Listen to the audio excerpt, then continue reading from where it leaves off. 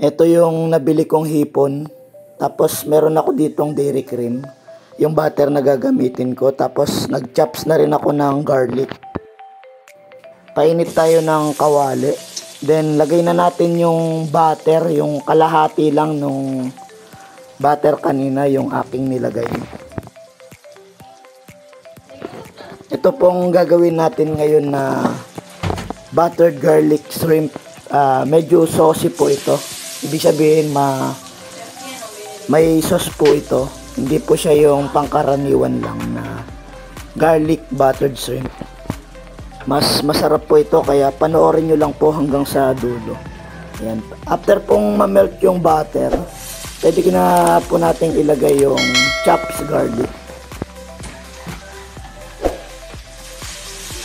Wala po tayong ibang gagawin, kundi gisahin lang po natin yung ating nilagay na chopped garlic.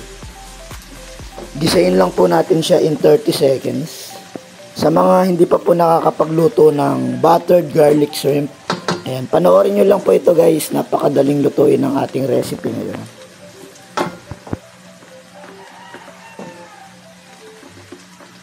Napakabango po nung pinagsamang butter tsaka yung garlic.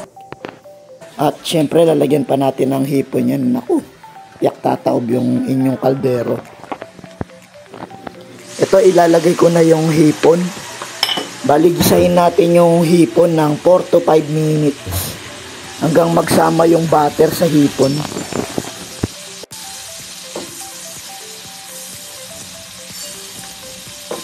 Ito guys, reminders lang po sa mga magluluto ng hipon. Tanggalin nyo po muna yung intestine ng hipon. Sa mga hindi po marunong magtanggal, nag-upload po ako ng short video kung paano magtanggal ng intestine ng hipon. Ayan, check nyo lang po sa aking in-upload na short video. Makikita nyo po doon kung paano ko po tinanggal yung intestine ng hipon. Ayan, salamat po.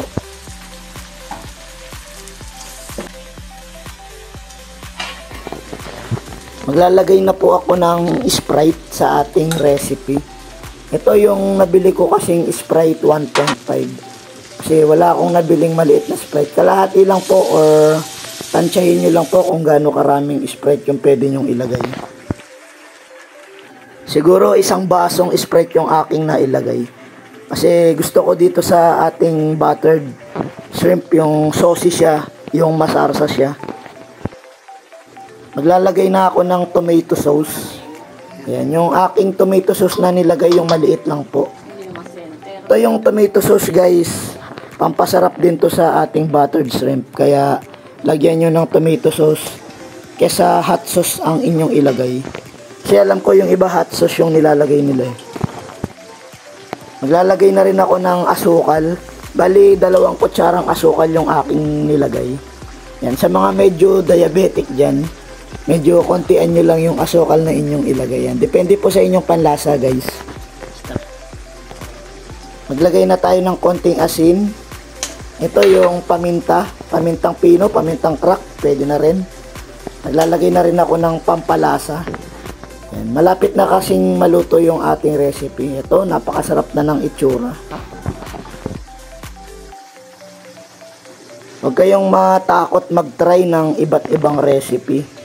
Ayan, kung ano yung iniisip nyo na masarap, yun ang gawin nyo.